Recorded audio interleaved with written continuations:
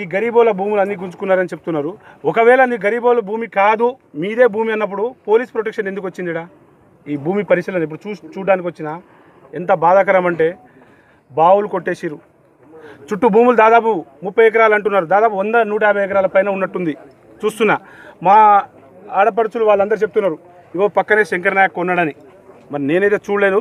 మరి revenue department చూపించాలి వాళ్ళు చెప్పాలి. నీతి నిజాయితీగా ఆ రోజు కలెక్టరేట్ మహబాద్ గడ్డలో కలెక్టరేట్ కూడా కట్టిరు. సాలార్ తండ పక్కన. మరి అక్కడ గరీబోళ్ళకు కూడా భూములు కోల్పోయిన వాళ్ళకు డబ్బులు ఇచ్చారు. భూమికి భూమి ఇచ్చారు. మరి ఈడ కూడా వీళ్ళ భూములే కదా.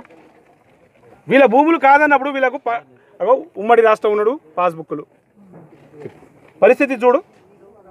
వీళ్ళ పాస్బుక్లు లేవని అంటున్నారు.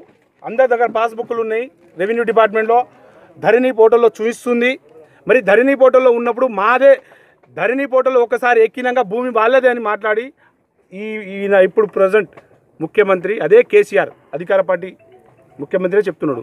మరి ఇక్కడ స్థానిక ఎమ్మెల్యే ఇవన్నీ కాదు ఇంత లొల్లి అవ్వడానికి ఇక్కడ అక్రమంగా వీళ్ళు జైలుకి వెళ్ళడానికి ఆడిపడుచులను జైలు పాలు చేసిన దౌర్భాగ్యం ఎవరిది? ఇక్కడ అందరికి కరెక్ట్ కనిపిస్తుంది శంకర్ నాయక్. అసలు ఈ లొల్లి రావాల్సిన అవసరం ఏముంది ఇక్కడ మీకు కావాల్సిన ముప్పై ఎకరాలు అంటున్నారు కదా. ఆ ముప్పై ఎకరాల లోపల ఉన్న గరీబోళ్ళకి వాళ్ళకి కావాల్సిన నష్టపరిహారం భూమికి భూమి ఇచ్చేస్తే అయిపోవు కదా. ఇవన్నీ జరగకుండా ఇక్కడ స్థానిక చెప్తున్నారు ఇంత ముందు ఒక మాట అంటున్నారు. ఇక్కడ రంజిత్ అంట ఎంఆర్ఓ గారు.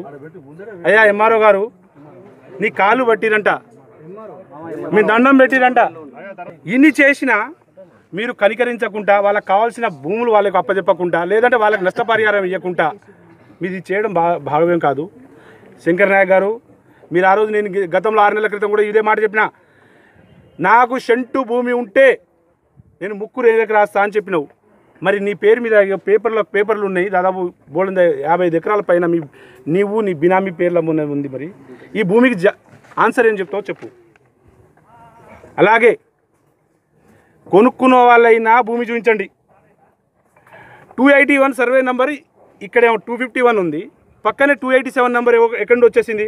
One five fifty one five fifty one survey మీద ఉన్న భూమి దాదాపు పన్నెండు వందల ఎకరాల పైన ఉంది కదా. టూ ఎయిటీ సెవెన్లో గతంలో భూమే లేదు.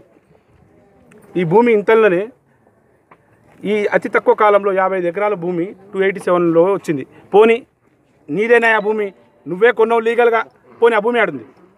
లేదా రెవెన్యూ డిపార్ట్మెంట్ అనేది చూపించురి భూమి అతనికి ఏడ కొన్ అతను ఏడ కొన్నాడో మీ బాధ్యత ఉంది మీరైనా చూపించండి లేదదే అతనైనా చూపించమనండి. ఆ తర్వాత ఇక్కడ ఉన్న పనులు మాత్రం దయచేసి మీ ప్రభుత్వానికి మీ కలెక్టర్ గారికి వినతి. మళ్ళీ నువ్వు కరప్షన్ చేసినావు ఏం చేసినావు ఎంఆర్ఓ గారు కానీ మీకు కూడా వినతి చెప్తున్నాం. ముందు మీ వర్క్ ఆపి ముందు వాళ్ళ గరీబులకు వాళ్ళది వాళ్ళకి వచ్చేటట్టు చేయండి. వాళ్ళ నష్టపరిహారం ఇవ్వండి. భూమికి భూమి అయినా ఇవ్వండి. దీనికి దీన్ని ఇచ్చే వరకు వాళ్ళకి న్యాయం జరిగే వరకు కొట్లాడే పద్ధతి నాది. ఇంకోటి ఇది జరగకపోతే మాత్రం నెక్స్ట్ పరిణామాలు వేరేలా ఉంటాయి భారతీయ జనతా పార్టీ దీన్ని ఊరికే వదలదు. పక్కన గుర్రం బోర్డులో జరుగుతూనే వదలలే. అలాంటిది నా సొంత గడ్డ మానుకోటలో ఇలాంటి అక్రమాలు దౌర్జన్యాలు కబ్జాలు జరిగితే నేను వదలను. నేను ఊరికే వదలను. ఇది నా రాష్ట్ర దృష్టి తీసుకెళ్తా. భారతీయ జనతా పార్టీ బండి సంజయ్ గారి దృష్టికి తీసుకెళ్తా. అక్కడ నుండి మా లీగల్ టీంతో కూడా దీన్ని చర్చిస్తా.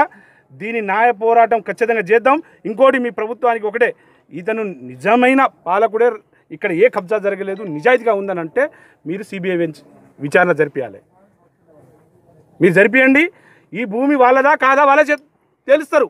మాకు ఈ రాష్ట్ర ప్రభుత్వం మీద నమ్మకం లేదు. ఈ సిబిఐ విచారణ జరపవలసిన మాత్రం అవసరం ఉంది.